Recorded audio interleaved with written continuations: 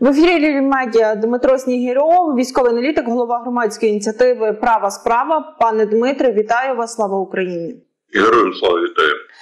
Є повідомлення, що ЗСУ ударили по адромах біля окупованого Бердянська та Луганська, поцілили по гелікоптерах та обладнанню російських окупаційних військ. Про це повідомили в центрі стратегічних комунікацій збройних сил України. Пане Дмитре, що це може означати? Які були цілі? Не варто говорити про те, що обидва литовища використовувалися російською окупаційною армією для як місця базування ударних гелікоптерів, відповідно штурмовиків для нанесення ракетно-бомбових ударів по позиціях збройних сил України, як відповідно на території Луганської області, так і Запорізької і Донецьких областей. Варто говорити про те, що е, подібний характер ракетних атак по литовищу Луганського е, аеродрому він не перший що 31 березня 2022 року права справа організації, очолював, ми повідомляли про те, що збройними силами України було завдано ракетного удару по литовищу е, поблизу Луганська, і тоді було так само знищено близько 10 одиниць бронетехніки, і що показало два гелікоптера. Координати е, Збройним силам України надав місцевий рух спротиву права справа. Ми фактично навели, тобто передали координати місць розташування російських гелікоптерів важкої бронетехніки. Варто говорити про те, що і на даний момент удар був нанесений не тільки по гелікоптерах, а литовище Луганського колишнього аеродрому використовується як місце накопичення важкої бронетехніки склад з боєкомплектом. Тому дочекаємося більш розгорнутої інформації безпосередньо з місця подій. Єдине, що варто зауважити, що наразі в окупованому Луганську фактично немає інтернету, великі проблеми зі зв'язком. Окупанти прекрасно розуміють можливості руху спротиву щодо координації діяльності е, в моменті надання інформації про місця розташування окупаційних військ, тому проводять низку оперативних заходів, щоб унеможливити витик інформації. По Бердянську аналогічна ситуація. Варто говорити знов таки про те, що це не перший. Е, випадок, коли наносяться удари по литовищу поблизу Бердянська. Е, я нагадаю, саме ту е, в район Бердянська свого часу було перекинуто до 20 гелікоптерів К-52, які власне і здійснюють вогневу підтримку російських окупантів на Запорізькому напрямку. Тому і ще раз підкреслю, вибір цілей не випадковий. Мовиться про те, що е, Збройні сили України таким чином наносячи превентивні удари по місцях розташування авіаційної техніки окупантів, знижують рівень вогневої підтримки з боку російської окупаційної армії. Як це відобразиться на фронті безпосередньо? Тобто, це нашим захисникам стане спокійніше? Ну давайте говорити про те, що звичайно. Основні втрати збройних сил України не тільки від засобів ураження, мовиться про ствольну реактивну артилерію, але й відповідно роботи е, російської штурмової авіації і російських гелікоптерів. Причому давайте говорити про те, що російські гелікоптери, на жаль, можуть працювати з безпечною для себе відстані 8-10 кілометрів. Пояснюю, чому власне е, ПЗРК, які передані українській стороні нашими західними партнерами мають дальність ураження до 5 кілометрів. Тобто вони не входять в зону ураження і безпечної для себе відстані, як теру розстрілюють українську бронетехніку. Тому е, нанесення ударів ну це серйозна е, перемога збройних сил України, відповідно серйозні втрати окупаційної армії. Причому я ще раз підкреслю. Наразі перевіряється інформація щодо реального характеру втрат. Там здається, буде більше значно власне і як знищеної техніки, так і відповідно е, ліквідованих е, окупантів. Ну, росіяни вже пишуть, що ці удари по аеродромах були нанесені атакамс, і що це найбільші втрати за часи так званого СВО. Звісно, росіянам вірити не можна, і але до чого такі повідомлення? Що вони мали би нам показати на вашу думку? Ну, власне, мали би показати характер нанесення ударів використанням атаків. Але давайте говорити про те, що ну публічній площині інформація щодо передачі ракета Атакмс, а мовиться власне про модифікацію М39А1 з касетною боєголовки, які конче необхідні Збройним силам України якраз для нанесення ударів по аеродромах. Е, Я нагадаю товариство, там дальність ураження до 300 кілометрів. Е, Так от, поки інформації в публічній площині не було, варто говорити про те, що ну була інформація про можливість передачі цих ракет українській стороні на момент візиту українського президента в Сполучені Штати. Потім з'являлася інформація, що Байден дав добро на передачу ракет АТАК ще до початку візиту, але характеру передачі ракет, підтвердженого характеру передачі ракет, е, ну в засобах масової інформації в відкритих джерелах не було. Якщо дійсно вдарили атаксами, то це показово. Будемо чекати продовження подібних ударів і відповідно по е, литовищах, е, які розташовані на території окупованого Криму. А там їх декілька до десяти. Власне, ну це, це знизить активність російської авіації. Відповідно, створить передумови для успішного контрнаступу збройних сил України. Якщо ми вже з вами заговорили за південь, то давайте більш детальніше поговоримо ситуацію на півдні, тому що російське командування на Херсонському напрямку всерйоз розглядає можливості форсування Дніпра українською армією з подальшим наступом на Крим. Е, Самопроголошений губернатор тимчасово окупованого півострову Крим каже, що все в них хорошо, все спокійно, всі ракети збили, нічого їм не загрожує, нічого не долетить. Руський мір здесь навсігда. Як ви бачите розгортання подій на Кри... в Криму і чи можливе форсування Дніпра в осінньо-зимовий період? Ну, давайте, по-перше, з приводу заяв е, гауляйтерів окупованих територій Криму. Ви пам'ятаєте, свого часу після анексії Криму е, була така ну, фраза. Хоч каміння з неба ми повернулися в рідну гавань. Ну, каміння не каміння, ми почали використовувати більш сучасну зброю, ніж каміння. І ми вже бачили позитивні наслідки використання власне крилатих ракет повітряного базування Shadow, SCALP та відповідно модернізованих українських Нептунів. Знищені системи протиракетної оборони 400 Триумф, причому вартість кожної з них 1,2 мільярда доларів. Знищена будівля штабу Чорноморського флоту. Відповідно, залишки самого Чорноморського флоту, я підкреслю, це не флот в тому розумінні, який був до початку широкомасштабної війни Російської Федерації проти українців. Це залишки. Так от ці залишки виведені відповідно з бухту Севастополя і передислоковані в Новоросійськ. Оце показово. А те, що вони там можуть заявляти, він назавжди повернувся в рідну гавань, ну подивимося, як то кажуть. А дивитися є на що. Е, Власне, давайте говорити про те, що рівень активності Збройних сил України в Херсонській області в моменті проведення локальної десантної операції протягом останнього тижня він значно е, збільшився. Це визнають і самі окупанти. Причому варто й говорити про успішний характер нанесення вогневого ураження збройними силами України по командно-штабних пунктів окупантів, головне складах СБК і пункти постійної дислокації. Це і Нова Каховка, і казачі лагеря, і інші власне місця постійного і тимчасового перебування окупаційних військ.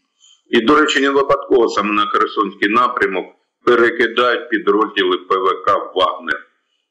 Досить показово, тобто найбільш боєздатні підрозділи у складі російської окупаційної армії прекрасно розуміють, що можливі варіанти власне проведення десантної операції.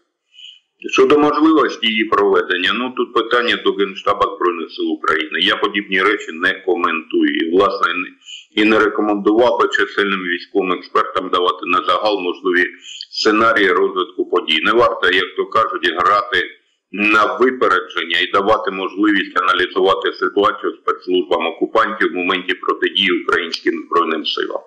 Пане Дмитре, ви сказали, що ПВК Вагнер перекидають на Херсонський напрямок. А наскільки вони можуть повпливати? Е, Ну тому що немає їхніх лідерів, немає ватажків, їх частково було роззброєно. Вони то підписували контракти з Міноборони РФ, е, хтось не підписував, то вони десь їхали в Африку, десь вернулися. Така вже трошки, знаєте, немає, що називається цього їхнього бажання йти м'ясом вперед, але взяти цілі. Ні, це власна інформація, яка, яка вкидалася самою російською стороною. ПВК зберігло свій, свій моноліт і власне боєздатність. Не про яке роззброєння не мовиться. Дійсно, ви слушно зауважили, що зберіглася їх присутність і на африканському континенті, тим більше вона збільшилася там, і на території Республіки Білорусі. Наразі відповідно їх перекидають на е, окуповані території Херсонської області. Наскільки вони можуть вплинути? Ні, це скорше психологічний момент показати власне і російським окупантам, і в першу чергу Збройним силам України про те, що на цей напрямок перекинуто на більш боєздатні підрозділи окупаційної армії. Чому перекинули Вагнер? А давайте говорити про те, що цього напрямку окупанти змушені були зняти найбільш боєздатні підрозділи, а саме сьома повітряна десантна дивізія, і перекинути на Токмацький напрямок, щоб протидіяти контрнаступу збройних сил України в районі Вербове і в районі роботи на. І е, фактично оголилася ділянка фронту від Нової Каховки до е, відповідно козачих лагерів. Постало питання, яким заткнути лінію фронту. Е, тими регулярними частинами Збройних сил Російської Федерації вони абсолютно демотивовані, вони не боєздатні. Відповідно, почали шукати, е, чим можна заткнути ту діру. Вирішили заткнути е, власне підрозділами ПВК Вагнер. Ну наскільки це буде ефективно, давайте згадаємо бої в районі Бахмут. 80% втрат особового складу серед е, найманців ПВК Вагнер. Здається, Збройні Сили України ну наскільки успішно утилізували ці найбільш боєздатні підрозділи, що вони навряд чи знаєте, зможуть якось якісно змінити лінію протистояння е, безпосередньо в Херсонській області. Тому це скорше, знаєте, такий елемент інформаційно-психологічних операцій, не більше того. Якщо говорити з вами про схід, то британська розвідка пише про те, що РФ розпочав найпотужніший за останні 9 місяців наступ на сході нашої держави. І е, я так розумію, що йдеться не тільки про Авдіївку, але зараз Авдіївка в центрі уваги е, медіа і українців. Як ви бачите ситуацію на Авдіївському напрямку, і що цей наступ дає росіянам? Давайте говорити про те, що це знов таки інформаційна операція російської сторони, показати, що Авдіївський напрямок є в пріоритеті. На жаль, цю інформацію підхопили українські військові експерти і українські змі. Наступ відбувається одночасно по всій лінії Україна е, російського фронту протяжністю тисячу кілометрів. Давайте разом з вами проаналізуємо, шановне товариство і шановні колеги. Інформація російської і української сторони на Авдіївському напрямку перекинуто додатково підрозділи російських окупаційних військ. Називається цифра 2 тисячі. Для порівняння на Куп'янсько-Лиманському напрямку, де точаться запеклі бої, і, на жаль, окупанти мають тактичні успіхи, зосереджено 120 тисяч особового складу російських окупантів. Скажіть мені, це співрозмірні цифри? Ну, очевидно, що ні. Очевидно, що ні. Для порівняння на Бахмутському напрямку, де так само точаться запеклі бої, чисельність російського контингента приблизно до 50 тисяч. Тобто, знов таки, ледь не втричі менше 2,5 рази, чим на Кум'янсько-Лиманському напрямку.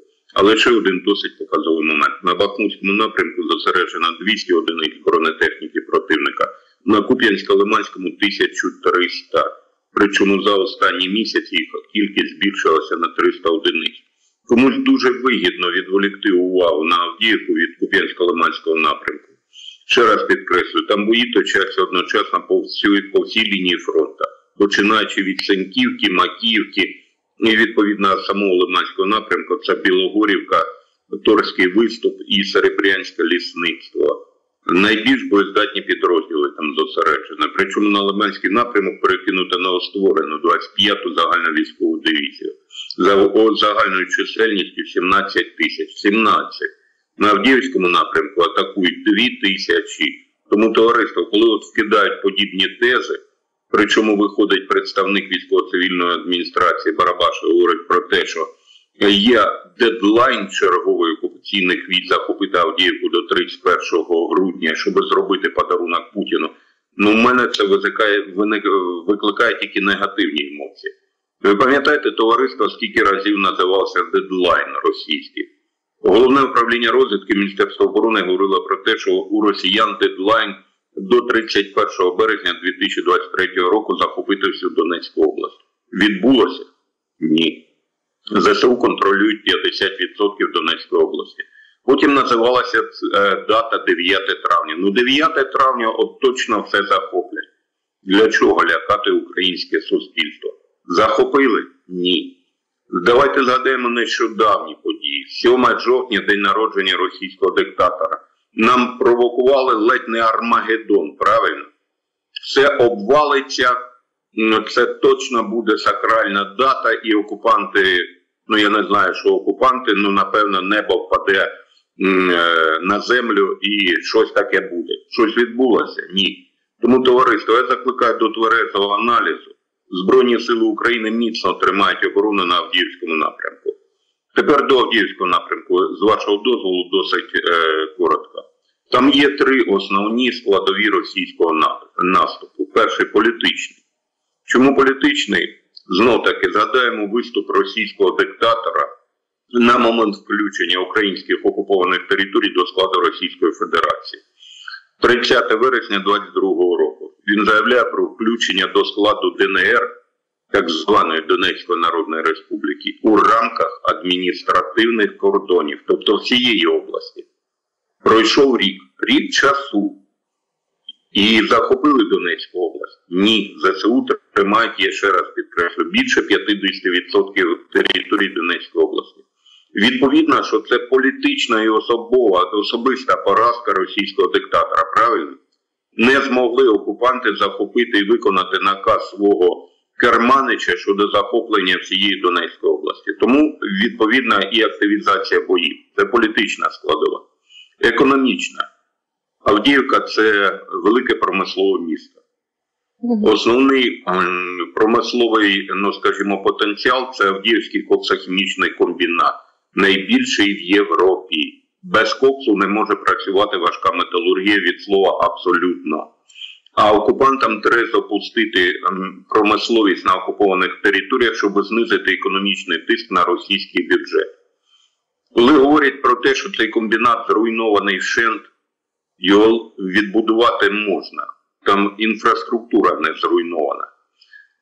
Це економічна складова, військова складова.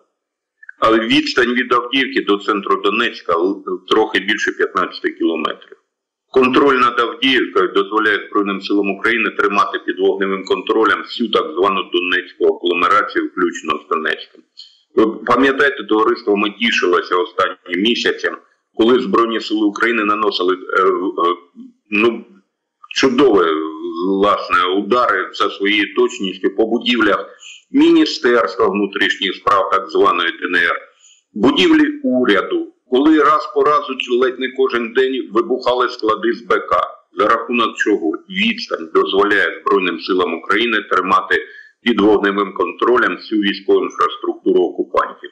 І відповідно стоїть питання самого існування так званої ДНР. Ну погодьтеся, якщо за останній місяць у нас були успішні бої з боку Збройних сил України в районі Опитне, а від Опитного до Донецька 2,5 максимум 3 кілометри, то тут стоїть питання: а чи втримають вони взагалі Донецьк? Правильно? От третя складова, чому навколо Авдіївки така увага? Але товариство, всі ті повідомлення російських окупантів з приводу того, що вони захопили е, відповідно терекон поблизу Авдіївського Коксахіму, зайшли на самий Коксахім і проводять зачистку, не відповідають дійсності від слова абсолютно. Немає наразі загрози оперативного оточення. Так, є певні часткові тактичні успіхи по флангах з району Водяної, з району Красногорівки атакують. Але знов таки завдяки героїчним зусиллям Збройних сил України змінилася навіть риторика окупантів. Е, два дні тому, е, здається, навіть добу тому, Путін виходить і говорить про те, що вже немає російського наступу російські окупаційні війська ведуть активний характер оборони. Все, як то кажуть, приїхали. З Авдіївкою все зрозуміло.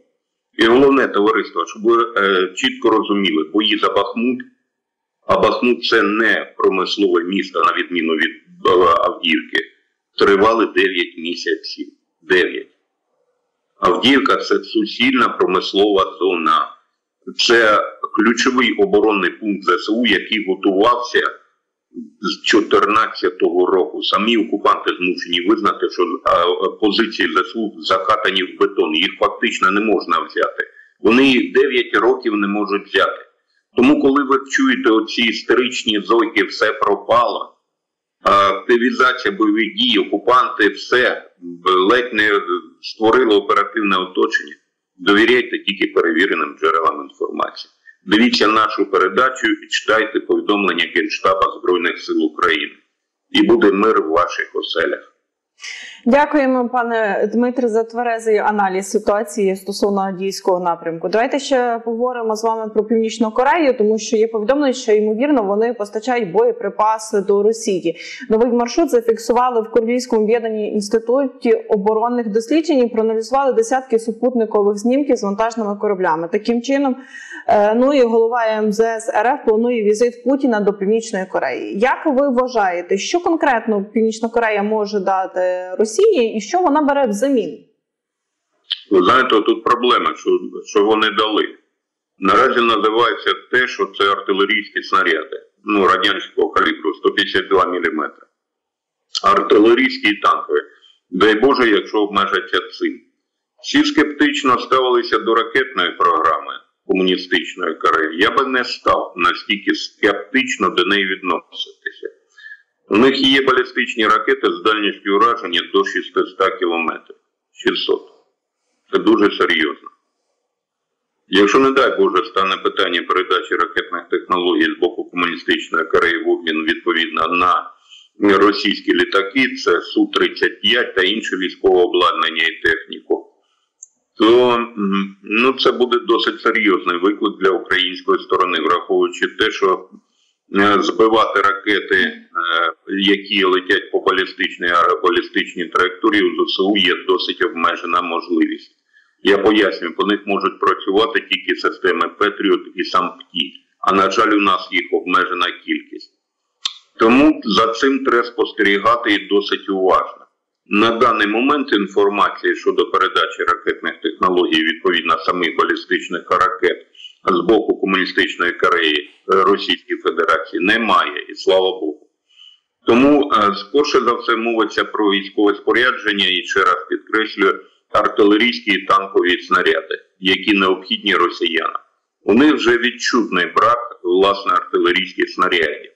Якщо на початку широкомасштабного вторгнення вони випускали до 60 тисяч снарядів за добу, то тепер ледь ну 12-15. Тобто, це вже говорить про те, що відчувається певний брак. Їх ще достатньо, але погодьтеся, зниження від вогневої активності в 4 рази вже про що говорить.